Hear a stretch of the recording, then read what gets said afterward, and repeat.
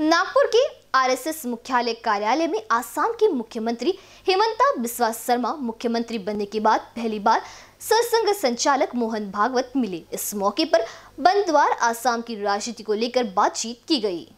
नागपुर के आरएसएस मुख्यालय कार्यालय में आसाम के मुख्यमंत्री हेमंता बिस्वा शर्मा, आरएसएस के सरसंघ चालक मोहन भागवत से मिलने नागपुर पहुँचे। एक माह पहले मुख्यमंत्री बने हेमंता बिस्वा शर्मा बचपन से ही आरएसएस के स्वयंसेवक है। हेमंता बिस्वा शर्मा शुरू में कांग्रेस में थी, लेकिन कांग्रेस के नेता गोगई इनसे अनबन होने से उन्होंने कांग्रेस छोड़कर बीजेपी का दामन थामा था। सर्बानंद सोनेवाल असम बीजेपी के मुख्यमंत्री थे। पाँच साल तक उनका कामकाज भी चला, लेकिन असम बीजेपी ने हेमंता बिस्वा शर्मा के नाम पर मुख्यमंत्री की मुहर लगा दी, जिसके बाद असम के मुख्यमंत्री हेमंता बिस्वा शर्मा बने हैं। हाल ही में असम के मुख्यमंत्री द्वारा मुस्लिम अपनी जनसंख्या कम करे ऐसा विवादित बयान भी दिया गया था, जिससे राजनीति भी गर्मा गई। पहली बार मुख्यमंत्री बनने के बाद नागपुर के आरएसएस मुख्यालय में जाकर असम के मुख्यमंत्री हेमंता बिस्वा शर्मा इन्होंने बंदवार में आरएसएस के सरसंघ मोहन भागवत से कई विषयों पर बातचीत की।